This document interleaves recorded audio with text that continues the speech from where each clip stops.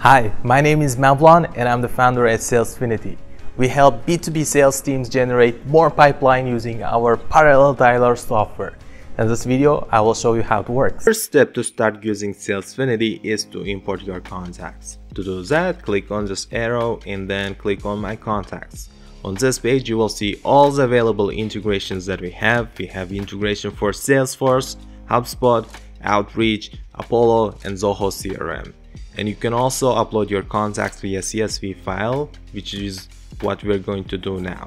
Click on import contacts and then simply drag and drop your contacts. After you do this, your table will be populated here.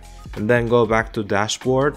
On the dashboard, the first thing you want to do is choose a calling mode. We want to do parallel calls, two calls per dial, and then we want to click on AI human detection. When we enable this, what happens is AI engine will detect human and connect the call only if human answers the call and it also can enter the call extensions automatically. So you don't have to do it manually. We don't want to record the call for now and that's it. Simply click on dial in and start dialing. Once you do this you will see the real-time call progress.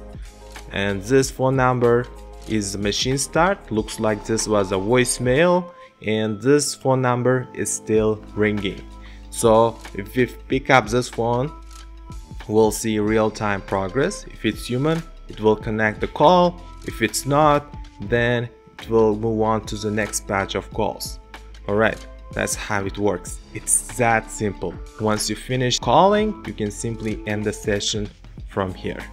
And since we are not using any CRM or outreach it didn't send automatic dispositions but if you're using outreach for example it will complete the call send out the call disposition and if you booked a meeting it will mark as meeting booked on your outreach dashboard and finish your call tasks that's how it works in nutshell. If you have any questions please contact me and i'll be happy to answer all your questions. Thank you